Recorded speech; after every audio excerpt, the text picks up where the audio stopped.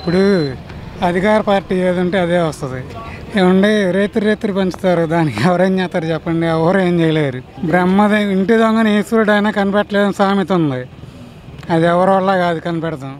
పంచుతారు రేత్రి రేత్రి? ఎవరికి తెలుసు? తెలియదు కదా. చెప్పింది బాగానే ఉంది మరి జగన్మోహన్ రెడ్డి. తీసుకోకుండా ఉంటారా? ఎవరైనా డబ్బులు వస్తున్నాయంటే ఇప్పుడు ఎవరో దాకిందికండి లేబర్ ఉన్నారు. పని లేకుండా అక్కడ ఉన్నారు. కోటికి రెండు వేలు వెయ్యి ఇస్తానంటే తీసుకోకుండా ఉంటారా? తీసుకుంటారు అది మళ్ళీ జరుగుతాయండి. ఎన్ని అడ్డంకులు పెట్టినా నేను చెప్పాను కదా ఇంటి దొంగని ఈశ్వరుడైనా కనిపెట్టలేని సామెత ఊరకనే పోదు. అది ఎవరోలా కాదు. ఎన్ని అడ్డంకులు పెట్టినా సరే రేత్రి ఇప్పుడు పన్నెండు ఒంటి గంట దాటిందంటే ఏం జరిగిద్ది ఎవరని చెప్తారు ఎవరేం ఏం చెప్పలేదు. అది కష్టం అండి. డబ్బులు తీసుకోవడం అనేది తీసుకున్న వాళ్ళు తీసుకుంటారండి. మేమైతే తీసుకోము. మాకైతే అక్కర్లేదు. ఏమో మరి జగన్మోహన్ రెడ్డి చెప్పింది అయితే బాగానే ఉంది. అది ఎంతవరకు ఎంతమంది తీసుకుంటారు ఎంతమంది తీసుకోరో తెలియదుగా. వైసీపీ వస్తుంది. ఎందుకంటే అంటే నా అభిప్రాయం ప్రకారం ఇరవై తొమ్మిది గ్రామాలు మాత్రం టీడీపీ వస్తుంది మిగతా అంతా వైసీపీ వస్తుంది. ఎందుకంటే ఇరవై తొమ్మిది గ్రామాల్లో చంద్రబాబు నాయుడు గారి యొక్క ప్రాబల్యం బాగుంది. ప్రజెంట్ ఏంటంటే అమరావతి ఇష్యూ ఒకటి జరుగుతుంది. దాని మూలన ఆయనకి అక్కడ సపోర్టర్స్ ఎక్కువ ఉన్నారు.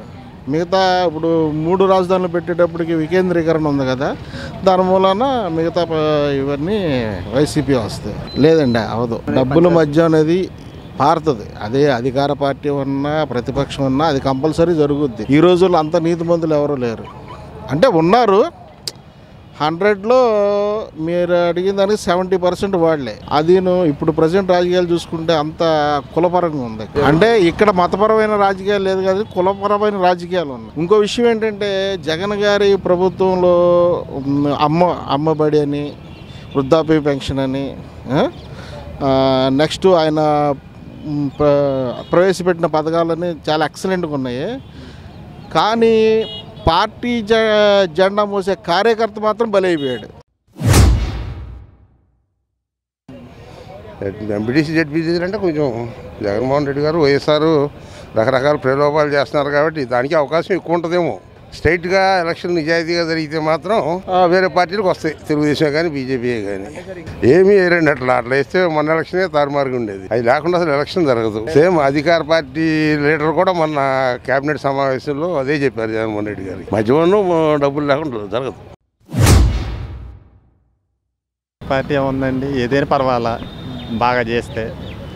ఇది బాగా చేసేవాళ్ళు కావాలి మనకి. పర్వాలేదులేండి మరి తక్కువ ఏం కాదు ఆయన కూడా పర్వాలేదు బాగా చేస్తున్నాడు. ఇంకా అట్లా ఎవరెక్కినా ఎవరు ఎక్కినా కూడా మంచి చెడు ఉంటుంది కదా. ఎవరి నమ్మకం వాళ్ళది వేస్తే ఇవ్వచ్చు కూడా చెప్పలేం కదండి. కావాల్సిన వాళ్ళు తీసుకున్నా వాళ్ళ నమ్మకం వాళ్ళది ఇంకా. ఈ వీడియో గనక మీకు నచ్చినట్లయితే లైక్ చేయండి షేర్ చేయండి. మరిన్ని వీడియోస్ కోసం మా ఛానల్ను సబ్స్క్రైబ్ చేయండి.